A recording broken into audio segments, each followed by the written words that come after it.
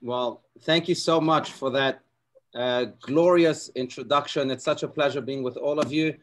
I wish my mother was here to listen to your introduction. She, she would have believed it.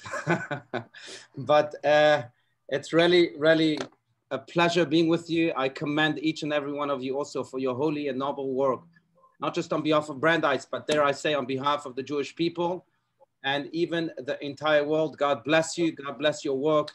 And uh, you should all find immense success in good health and in happiness uh, at every juncture of your life. So, friends, I want to begin just with the story that you may be familiar with about this Chinese tribe leader who was looking for a successor.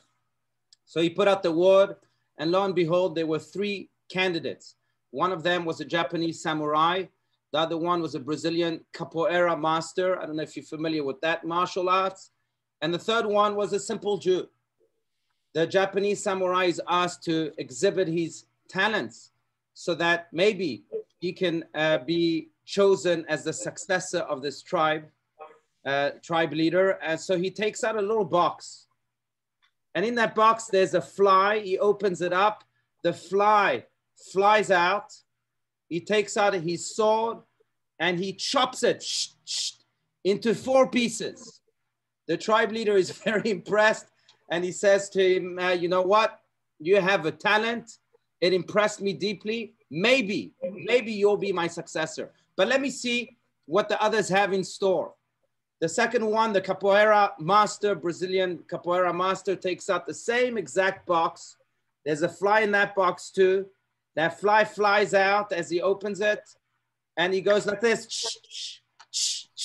and he chops it eight times, eight times. Now the tribe leader is even more impressed. He says, I think you are, uh, you will be chosen as my successor. I don't know if anyone can beat you, but let's see what this Jew has in store for us. The Jew takes out also a small little box. There's a fly in it, opens it up. The fly flies out and he goes, shh, shh, shh, and he does it so many times, and the fly is still buzzing around. So the tribe leader tells him, I don't understand. Where's your talent here? What skill are you trying to demonstrate? And the Jew says to the tribe leader, You don't understand. To chop a fly into four pieces, into eight pieces, that's easy. But to circumcise a fly, now that's a skill. That's, uh, that's, that's what I just did. That's I'm thinking of that little story because we feel these days as if these flies and these very horrific flies of the pandemic are still buzzing in our ears, are still interrupting our lives. And that's why we must ask the question how do we navigate? How do we ensure that these uncertain times do not affect us to the point that we are devastated, not just temporarily, but God forbid, forever? How can we ensure to remain sane and remain positive and optimistic even though maybe the numbers are showing the exact opposite? That's the question I dare explore with you today. And I'd like to provide maybe three separate ideas, of course, stemmed from my, stemmed from my Jewish sources. And as Sue mentioned before, I do encourage questions. So if you have questions or even just comments or disagreements that you'd like to share uh, via the chat or thereafter, really, I'm more than happy to listen to them. But idea number one, I think goes to the very, very core of Judaism. Because if you think about this, there are many, many instances in Judaism in which we shut our eyes. For example, when we say the Shema, maybe the most important prayer in Judaism, we shut our eyes. Some people close their eyes when they say Yizkor. Some people close their eyes when they say the blessing of the Shabbat candle lighting. We also close our eyes very often when we um, kiss our children we veil the bride, also shut our eyes at weddings, at chuppahs. Why this custom? Why do we shut our eyes so many times and during such important and essential events? And the answer I think I discovered during a visit of mine in Israel just a few years ago. I don't know if any one of you has been there, but I had the great privilege of visiting the Blind Museum in Ramat Gan, not too far from Tel Aviv. The Blind Museum is a museum that takes the, the visitors through the experience of being blind. The hmm. museum really allows only small groups of people so that we don't get lost in the noises of crowds, and then we can become truly in tune with all of the senses that the blind people have to, are forced to develop as they are taking us from room to room to room to room. As mentioned, I was a visitor there just a few years ago, and I remember very vividly going through room number one, which was the room in which we needed to shop for food. All we can do is judge the food by its shape, by what we were feeling in our hands, and of course by its smell. Now, thankfully, we were led by a tour guide who himself was legally blind from birth.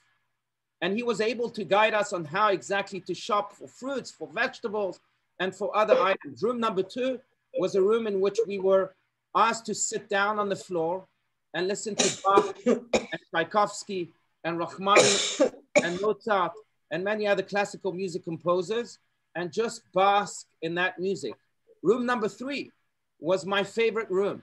We were again blind. We were all blindfolded throughout the entire experience.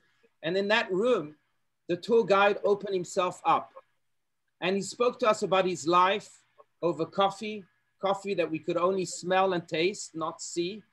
So we didn't exactly know even it looked like.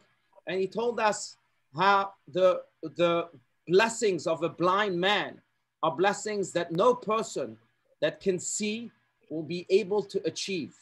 I did not quite understand what he was saying until he turned to me and he said to me, Why are you so tense? Why are you standing up? Just have a seat. And I said to him, Well, how do you know that I'm standing up? And how do I know that, how do you know that I'm tense? You can't even see me.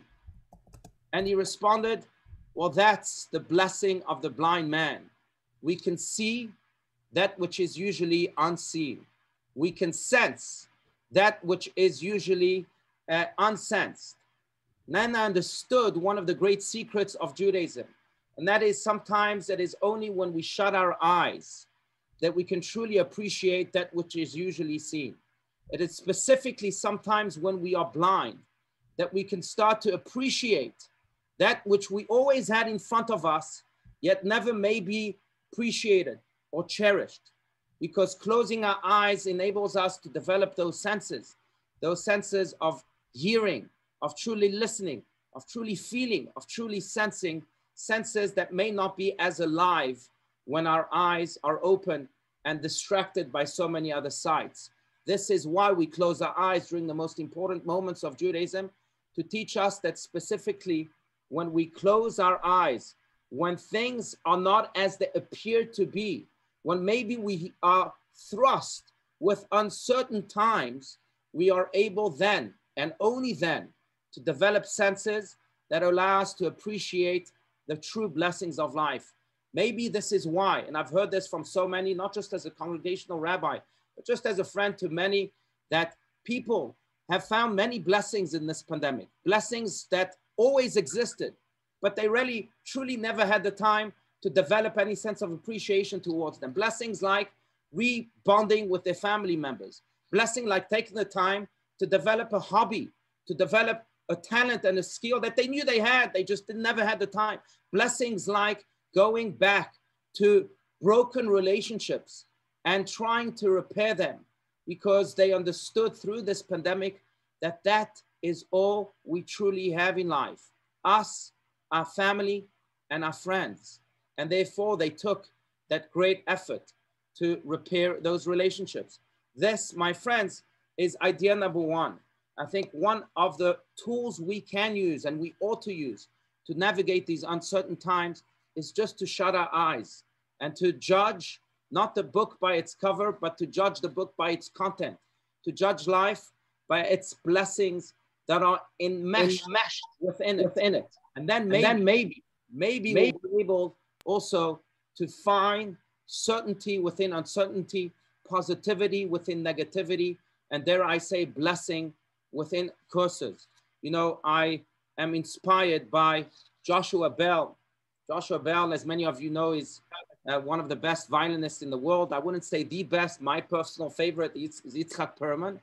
But Joshua Bell uh, also plays on a Stradivarius, $3 million violin to produce the sweetest sound out of his violin.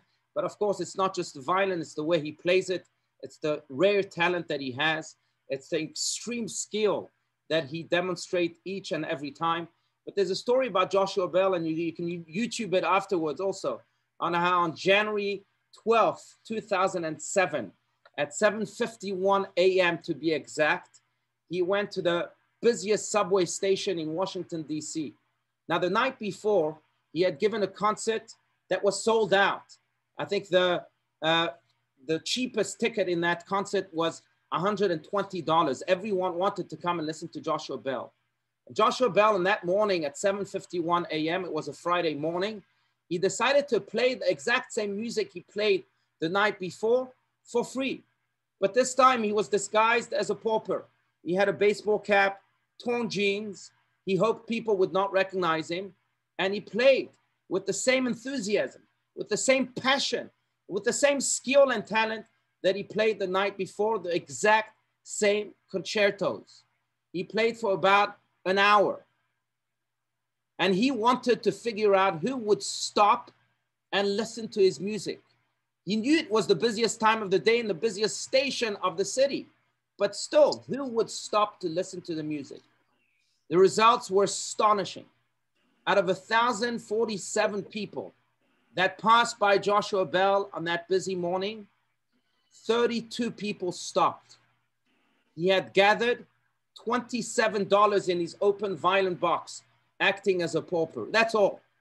The night before, he had made $60,000 and everyone paid as much as they could to be able to listen to. And he deducted from this experiment that life is full of music. Yet, unfortunately, we are too busy with it that we don't often stop to listen to the music within the noises, to listen to God's sweet sounds within the busyness of life. And he implored upon people after this experiment, please don't allow yourselves to become deaf. Shut your eyes and listen to the blessings of life. Friends, this is tool number one. Let us shut our eyes when we feel that times are getting too tough, when we sense that it is just too overwhelming to deal with so many challenges and troubles. Just shut your eyes. Listen to God's music within, and you will be transported to a different, to a different world, inspired by its sweetness, and no doubt that you'll awake to a better life, to a sweeter world. That's tool number one. Tool number two, I would really learn from one of the most bizarre customs we have on Passover. Passover is coming up in a week and a half, as you all know. And during Passover, one of the 15 steps of the Passover Seder is to take out one of the three matzahs that we have in front of us and yachatz, break that matzah. Now, why do we do that? The Talmud doesn't even have a sufficient answer. It says we do that so that the children would not fall asleep and we can still engage them. So we do all sorts of tricks like breaking the matzah. But still, there must be a more significant answer, a deeper reason. Why we would break the matzah and are we what all of a sudden into breaking things in Judaism? Is that what we want to try and educate our children? Why break the matzah? One of the answers given is given by a great Hasidic master of about 250 years ago. And he taught us that the Passover Seder is all about celebrating freedom.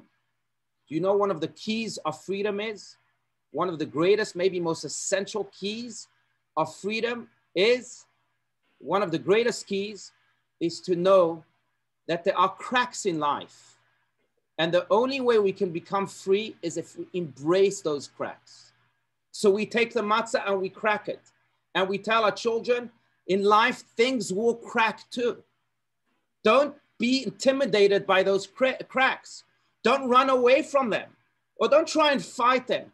Quite the opposite. Judaism is all about embracing those cracks, knowing that even within those cracks, there are blessings. I can't help but think of the Zen story. It's not a Jewish story, but it's a story about a water carrier. I don't know if you're familiar with the story, but a water carrier who would, as they did hundreds of years ago, he would walk from his village to a well outside of his village each and every day to bring back water and fill the two buckets at the end of his pole and bring back that water to the people of his village. Again, he would do that each and every day.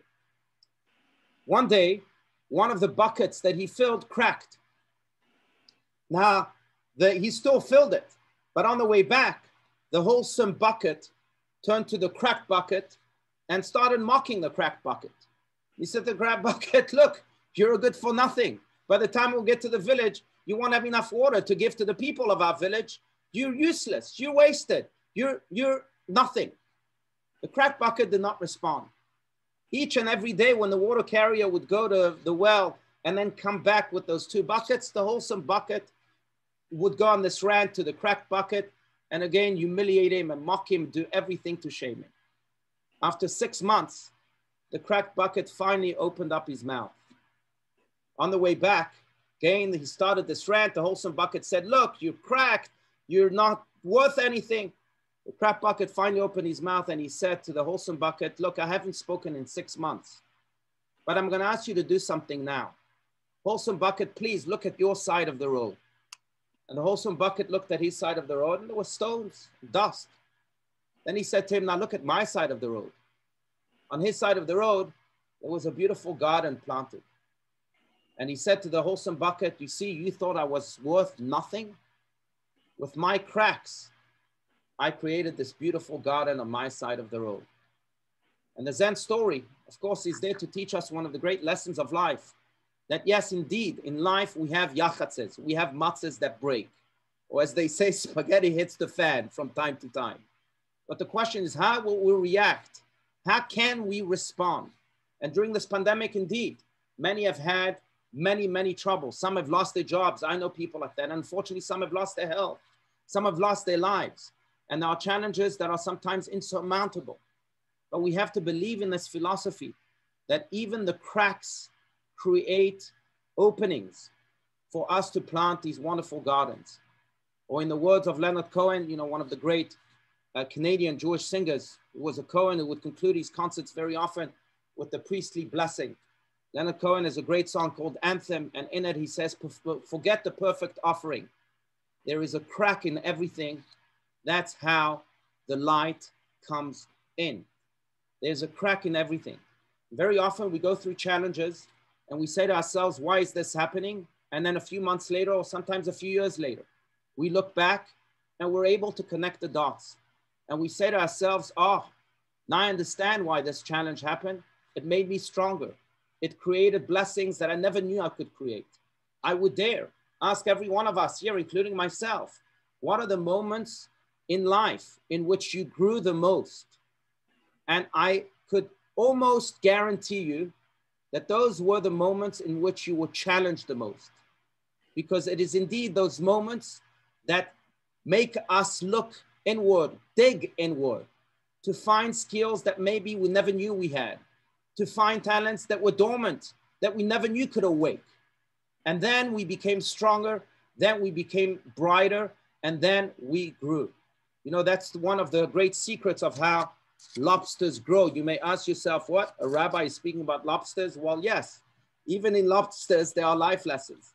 But the way lo lobsters grow is fascinating to me scientifically. Lobsters apparently have a body within a shell, and that body grows. The shell does not. As it grows, it feels that it's confined by the shell out uh, without. The, the body, again, the shell does not grow. So it feels like it's, it's, it's suffocating. So what does it do at that point? It goes under a rock and it sheds its shell, hoping that no predator would come and eat it during this process. That's where it goes under a rock. And then it develops a new shell that is now bigger to be able to fit this bigger body. The problem is that within a few months, that bigger body grew even more. And the shell that it, developed, that it had developed under the rock is no longer able to truly house it. So what does it do? It goes back to a point under the rock to be able to shed that shell and grow yet another shell. And it does that multiple times throughout its life. That's how lobsters grow. But dare I say, that's not just how lobsters grow. That's how human beings grow. Sometimes we too are growing within and we have challenges. We have life, life full of obstacles that is feels confining. But maybe all we need to do is embrace that stress, embrace that challenge, embrace those cracks, go under a rock and hope that those confining aspects of life will then shed and we'll be able to continue our growth. So when we feel stress, it's not necessarily a bad sign. Stress can be good. Challenges can be positive. If we can embrace them and grow through them and because of them, then no doubt they too will turn into blessings. That's why we have yachats. So if idea number one was to shut our eyes and listen to the music of life, idea number two is to then reopen our eyes, see what those cracks are, and grow from them. How many times do we hear of people who started helping others through the challenge that they experienced? I have a dear friend who's a cancer survivor. He had lung cancer stage three. And Baruch Hashem, thank God he survived. And now he spends most of his day helping lung cancer patients. He's not a doctor, he's not a nurse, He's not, he was not a volunteer at a hospital, but that created an epiphany in him in which he said to himself, I'm going to transform my crack into a source of blessing for others. And that is really the essence of idea number two. Idea number three, final idea I'd like to share with all of you this morning, really stems from my favorite biblical character. favorite biblical character, I'd love to hear what your favorite biblical character is, but my favorite biblical character is Joseph. Joseph, who grew up in a very loving home, yet at the age of 17, his brothers kidnapped him, threw him into a pit, and tried to murder him. And when he did not die in that pit, they took him out and sold him to slavery. Not only did they sell him into slavery, but in slavery, where he was a slave, he was then accused of raping his wife, uh, the, the wife of his master. He was thrown into a dungeon. Dungeon. He was an innocent man, but he was thrown into a dungeon for life. No one knew for how long. Yet in that dungeon, in that pit, in those years of slavery, in every moment of his life, Joseph keeps a positive mindset. And even in prison, when he sees two people that are looking sad, as the Bible tells us, he turns to them and he says to them, why are you so sad today? Smile. Now, I visited prisoners in prisons, Jewish prisoners to bring them matzah on Passover and so on. I can tell you that one thing that does not exist in prisons is smiles. People are naturally sad in prisons. What was Joseph thinking? Asking two people in prison why they sad? They weren't eating sushi at a bar mitzvah. They weren't celebrating at a Jewish wedding and dancing the hora. They were in prison. Obviously, they said. But the answer is because Joseph felt that he was an ambassador of God wherever he was. And being the ambassador of God to bring goodness and kindness to mankind, he used every opportunity, whether he was in slavery, in the dungeon, or even in a pit, to bring light, life, and joy to his surroundings. The climax of that happened years later when Joseph was the vice king of Egypt and his brothers come to ask for food. His brothers did not recognize Joseph, who he had become. He, on the other hand, recognized them and eventually decides to reveal himself to his brothers. His brothers are taken aback and they are filled with fear. And they say to themselves, Oh, maybe Joseph is going to take his revenge now that he's the all powerful vice king of Egypt.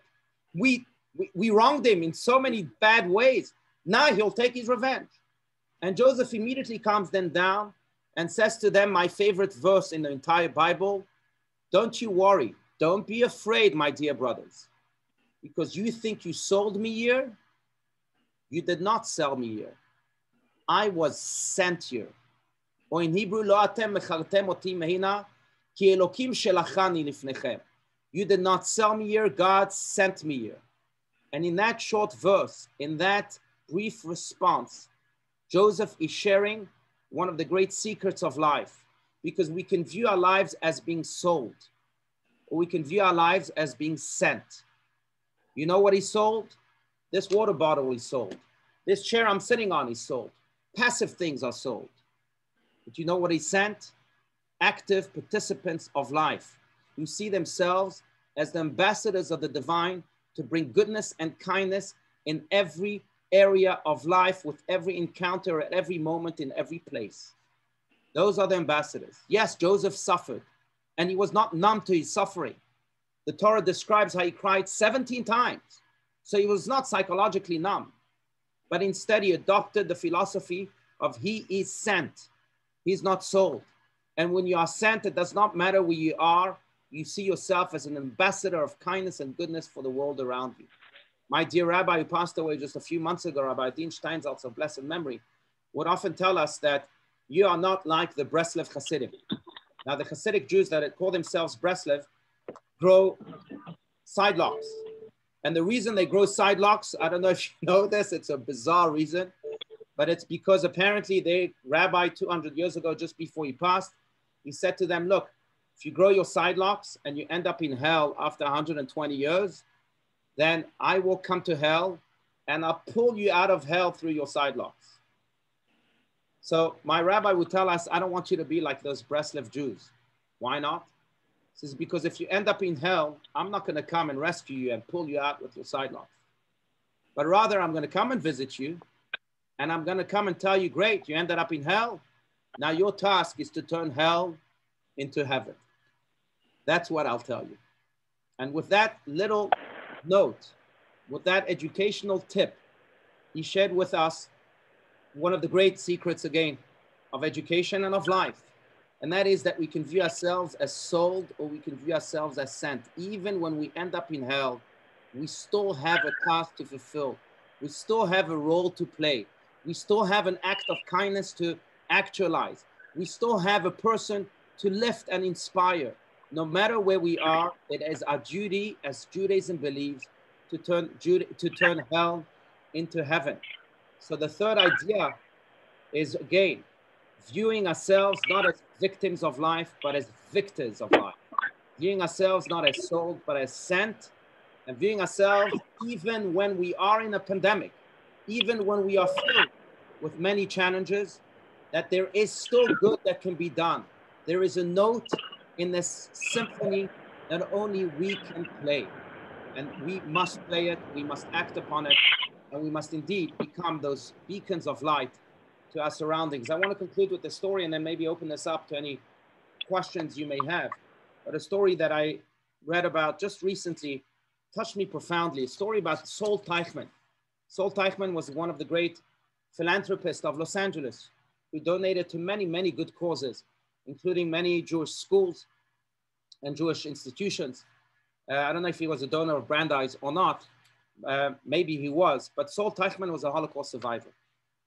Now he would tell the story of how he survived the Holocaust.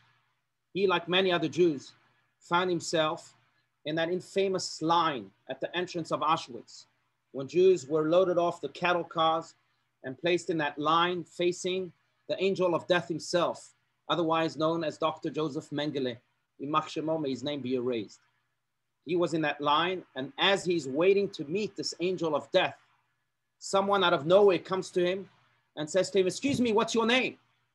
He said, My name is Sol. He said to him, Well, what year were you born? Sol was born in 1927. The year was 1943 now. That would have made him 16 years old. So Sol says, I was born in 1927. I'm 16 years old. The man tells him, No, you weren't born in 1927. You were born in 1925. Do you hear me? Says, no, I was born in 1925. What are you talking about? Says, no, I was at your bris. I remember. You were born in 1925. Do you hear me? So let's repeat this again. What's your name? So my name is So. What year were you born? 1925. Fine, 1925. The man disappears. A few moments later, Sol Teichman now faces the angel of death himself. Dr. Mengele tells him, What year were you born? Sol connects the dots together and he says, I was born in 1925. The angel of death then tells Sol, then go to the right. He goes to the right. Later on, he learned that going to the right meant that you would live. Going to the left meant that you would die. And he quickly realized that this anonymous man that he had never met again in life saved his life by changing his date of birth. If he had said that he was born in 1927, Mengele would have considered him too young and he would have told him, go to the left. So Sol Teichman would tell this story often, and he would credit this anonymous man for his giving. He said to himself, One person gave of his time and of his wisdom to me during my most crucial moment in life. So who am I not to give of myself? And indeed, whenever someone would come and ask for a favor of Sol Teichman, he would fulfill it. Whenever that person, person would ask for some money, he would give him that money. Whenever he would ask for any type of help, Sol Teichman would be the first one to help that person. Why? Because he understood that life is about being viewed as sent. He was an anonymous man who could have very easily sunk in his own depression, said to himself, Well, I find myself now in Auschwitz and I'm about to be sent to the left. I'm too old to be sent to the right. That's it, I'm doomed. Yet he still find the courage and the great wisdom to act as God's ambassador to the world around him, even in Auschwitz and go to the Sol Teichman and who knows to many other people, I'm sure, and say to them, don't say that you were born in 1927. Say that you were born in 1925. This will save you, and indeed it saved Sol and countless others. Friends, I turn to each and every one of us today, including myself again, and I ask you that indeed, yes, we are facing terrible times. No one knows exactly when this pandemic will end. I hope that we are seeing indeed glimpses of hope with the vaccines and other means that are liberate, liberating us from this terrible, terrible year that we all experience. But let us not forget the three secrets of Judaism that even when times are tough, we ought to shut our eyes and listen to God's sweet music. Even when times are, are tough, we ought to find the blessing within the cracks of life and then ensure that they are unleashed ensure that maybe those cracks themselves are transformed into sources of blessings for us and for the world around us. And last but not least, even when times are tough, let us view ourselves not as sold, not as victims, but as sent as victors.